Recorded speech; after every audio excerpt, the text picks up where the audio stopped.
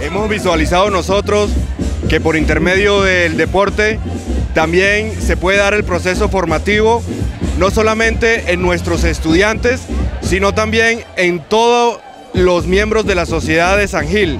Es por eso que hoy hemos visto estudiantes de los diferentes colegios del municipio, hemos visto personas de la tercera edad, hemos visto competidores de tipo élite, es decir, que ya eh, desde hace bastante tiempo vienen haciendo competencia de atletismo y hemos visto también familias que han venido a trotar, a caminar, en últimas a acompañar y a integrarse dentro de este proceso deportivo.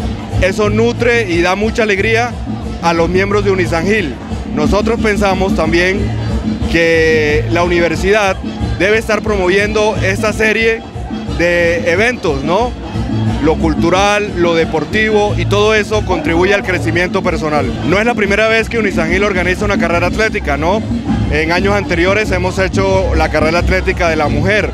Esta carrera migró porque muchos hombres decían que era necesario hacer una carrera que integrara los géneros, ¿no? Y entonces hemos hecho una carrera donde han participado los hombres, las mujeres y nosotros pensamos a futuro seguir con esta clase de eventos cada vez más masivos.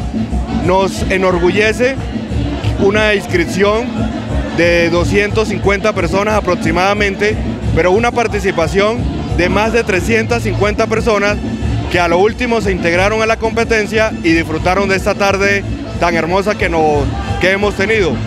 Y estamos muy contentos también porque por intermedio de esta carrera hemos hecho homenaje a una persona que en San Gil durante toda su vida la ha dedicado al deporte.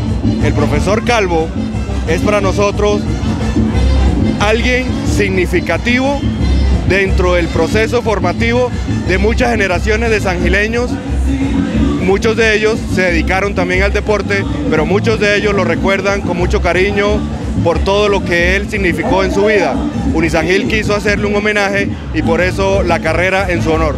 Estuvimos participando, es el segundo año que participo en la carrera que organiza Unisangil y pues este año con más cariño para el profe Luis Emilio, con mi hija, mi sobrina y mi mascota, mi perro Nico.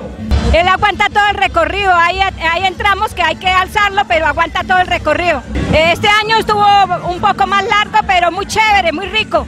Y la hora estuvo muy buena, no había sol y participa uno mejor. Ojalá que todas las, entidades de San Gil hicieran lo que hace Unisanil. Felicitaciones para Unisanil y, y que nos incentivemos más a este a, estos, a esta invitación a la ciudadanía que participemos porque esto nos brinda esparcimiento y salud para todos y unión familiar.